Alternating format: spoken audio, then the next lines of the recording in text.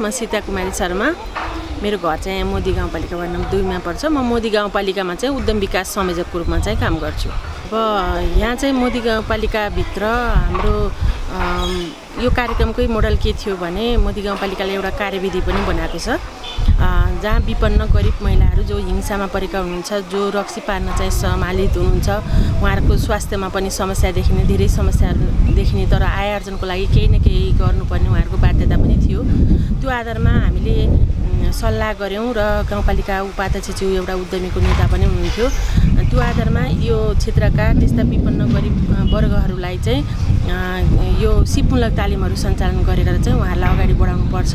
हिजैबाट चाहिँ यो लघुद्योग विकास कार्यक्रमले सुरुवात गरेको ठाउँ पनि हो। त्यसमा चाहिँ उहाँहरूलाई प्रवर्धन गर्नको लागि मोदी गाउँपालिकाले यस्ता खालका उद्यमहरूलाई हामीले परिवर्तन गऱ्यौँ भने समृद्धिलाई जोड्न सकिन्छ भनेर एउटा विपन्न वर्गहरूको लागि सुरुकै वर्षबाट बजेट पनि विनियोजन गर्यो। सात सय त्रिपन्न गाउँपालिकामा मोदी गाउँपालिकाले मात्र होला यो लघु उद्यम विकास कार्यक्रम भनेर चाहिँ एउटा लघु घरेलु साना उद्यम कार्यक्रम भनेर चाहिँ बजेट विनियोजन गरेको।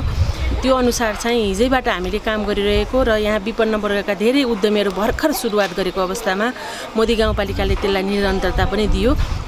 र थप उहाँहरूलाई प्रवर्धन गर्ने कुरामा धेरै कुराहरू सहयोग गर्यो। सिपमा समस्या छ भने सिपमूलक तालिमहरू सञ्चालन गर्ने डुप्लिकेसन हुन नदिने पहिला पहिला चाहिँ अलिक सङ्घ संस्थाहरूले चाहिँ स्थानीय तहले तालिम दिँदाखेरि डुप्लिकेसन हुने एउटै मान्छेले धेरै तालिमहरू लिने अवस्थाहरू पनि हुने थियो। तर पछि गाउँपालिका आइसकेपछि यो डुप्लिकेसन नहुने हिसाबले धेरै उद्यमीहरूलाई चाहिँ सिपमूलक तालिम दिने अनि उहाँहरूलाई प्रविधिको समस्या छ भने अस्सी प्रतिशत छुटमा चाहिँ प्रविधिहरू सहयोग गर्ने जस्तो यो ढाका बुन्ने बहिनीहरूले चाहिँ अस्सी प्रतिशत गाउँपालिकाको सहयोगमा हरेकले तान पाउनु भएको छ। र त्यो तान चाहिँ अहिले हामीले हिजो यहाँ उन्नाइसजना दिदीबहिनीले यो साझा सुविधा केन्द्र भवनमा चाहिँ काम गर्नुहुन्थ्यो। अहिले चाहिँ यो पार्टी चौर चाहिँ एउटा ढाका गाउँ जस्तै बनिसकेको छ। धेरै महिलाहरूले चाहिँ सिकेर आफ्नो घर घरमा तान राख्नु भएको छ। यहाँ साडी बुन्नुहुन्छ यहाँ चाहिँ कुर्ताहरू बुन्नुहुन्छ यहाँ चाहिँ ढाका टोपीहरू बुन्नुहुन्छ कोटका कपडाहरू बुन्नुहुन्छ। त्यही सन्दर्भमा धेरै उत्पादन पनि हुने स्थानीय उत्पादन अलि महँगो हुन जाने हातले बुनेको ढाका भए हुनाले महँगो पनि हुन्छ। अनि बजारीकरणका समस्याहरू देखिसकेपछि फेरि गाउँपालिकाले चाहिँ कोसेली घर स्थापनाको कन्सेप्ट ल्यायो। मोदी गाउँपालिकाभित्र उत्पादन भएका यस्ता खालका उद्यमहरूलाई चाहिँ बजारीकरणमा सहयोग पुगोस् भनेर कोसेली घर स्थापना गर्यो। र अहिले चाहिँ उद्यमीहरूले केही कोसेली घरमा पनि बेच्नुहुन्छ कोसेली घरमा पूर्ण रूपमा खपत हुन सक्ने भने आफ्नो हिसाबले पनि बेच्नुहुन्छ। अत्यन्तै ऊर्जाका साथ साँच्चै भन्यो भने लगानी गर्न नसक्ने मान्छेलाई एउटा उद्यमी बन्ने एउटा मालिक बन्ने एउटा जुन ऊर्जा प्रदान भएको छ त्यो चाहिँ मोदी गाउँपालिकाको एकदम सराहनीय काम हो। मेरो नाम सम्बन्धी हजुर। अनि अरू के भन्नुपर्ने अनि यो के छ? तपाईँले पहिला के गर्नुहुन्थ्यो? अनि अहिले यहाँ ढाकामा कसरी जोडिनु भयो भन्ने कुरो के? म पहिला गाउँतिर थिएँ। अठहत्तर सालदेखि तल झरेको अठहत्तर सालदेखि नै सुरु गरेको। अहिले यही बुन्दैछु कति बुन्नुहुन्छ के बुन्नुहुन्छ महिनामा के कसो छ आम्दानी? सबै बुनिन्छ टोपीहरू कोट ब्लाउज पछ्यौरा साडीहरू अब सिकाउन हिँड्न पऱ्यो बाहिर कष्ट गएर पनि हिँड्न सकिन्छ। के कसो छ आम्दानीहरू? कतिको सन्तुष्ट हुनुहुन्छ? आम्दानी ठिकै छ सर अब त्यस्तै आफूले टाइम दिएअनुसार धेरै थोरै त्यस्तै।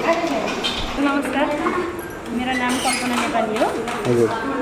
चाहिँ लगभग पैँसठी सालदेखिको मैले ढाका बुनाइको तालिम पैँसठी सालमा ढाका बुनेको तालिम लिएको हो। अब कमाइ त आफ्नो हातको मिहिनेत हो। आफूले जति गर्न सक्यो उति नै हुन्छ। अब यसलाई अल्छी गर्न हुँदैन के अरे अल्छी गरे पछाडि त अनि यसको त कामै छैन। हामी त अब बिहान उठेर अनि यसलाई जति टाइम दियो होइन छ बजीदेखि नै बस्छौँ क्या यो लामो दिनमा त। शीतलोमा बुन्ने भन्ने छ बजीदेखि बस्ने जति एउटा टाइम दिन सक्यो उति कमाइ हुन्छ बिक्री वितरण समस्या के कस्तो छ? पहिला त बिक्री त धेरै नै समस्या थियो। अहिले चाहिँ हाम्रो कोसेली घर राखिदिनु भएको उहाँ अब गाउँपालिकाले होइन कोसेली घरको सम्प के अरे निर्माण गरिदिनु भएको छ यहाँ। अनि त्यहाँ पछाडि चाहिँ अलिक सहज भएको छ हामीलाई।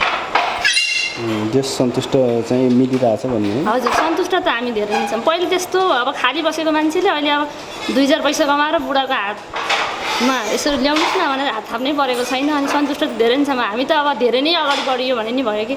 अब प्रशिक्षक भएर बाहिर हिँड्न नै सक्ने भइयो होइन। त्यहाँ पछाडि त अनि अब बुढाको हात थाप्न त खासै त्यति पर्दैन। पदम कुमारी विका ए अनि ल यो बारेमा भन्नुहोस् त तानको बारेमा तपाईँले कसरी सुरुवात गर्नुभयो पहिला के गर्नुहुन्थ्यो? पहिला हामी यत्तिकै घरमै बसिरहेको थियौँ होइन। यत्तिकै घर बसिन्थ्यो अनि अ, साझा सुविधा केन्द्रमा तालिम छ अरे भनेर आइयो। अनि तालिम बुद्धिमाया म्यामले सिकाउनु भयो हामीलाई। हामीले पहिला यस्तो पालपाले ढाकाको सिकियो पहिला हामीले। अनि त्यसलाई त्यो चाहिँ अप्ठ्यारो हुँदो रहेछ साह्रै नै अप्ठ्यारो हुँदो रहेछ। पत्ताहरू छिनेको छिने गर्दो रहेछ।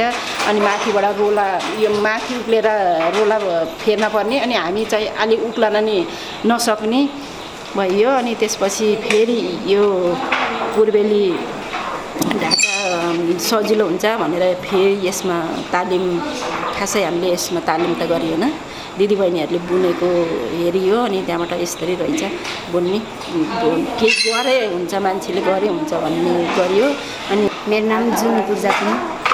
ए कति भयो तपाईँले यहाँ काम गर्नु लाग्यो तालिम चाहिँ छ्यात्तर सालमा सिकेको। अहिले दुई वर्ष अनि के छ कति छ तपाईँ त पुरस्कृत हुनुभयो अरे। हजुर। अनि के के बुन्दै हुनुहुन्छ? अहिले पछ्यौरी? सल। ए अनि के छ? कस्तो छ कमाइ के कस्तो छ? ठिकै छ। अब